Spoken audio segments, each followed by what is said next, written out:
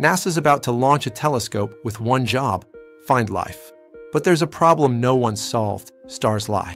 When we search for water on distant planets, the star's own hot spots and cool regions create false signals. Water signatures appear, then vanish. We can't tell what's real. Enter Pandora, just 17 inches across, 716 pounds.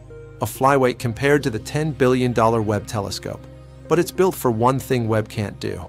Only 20 planets made the cut gas giants, subneptunes, hot stars, cool stars, each one handpicked for signs of water vapor, hydrogen escape, atmospheric chemistry.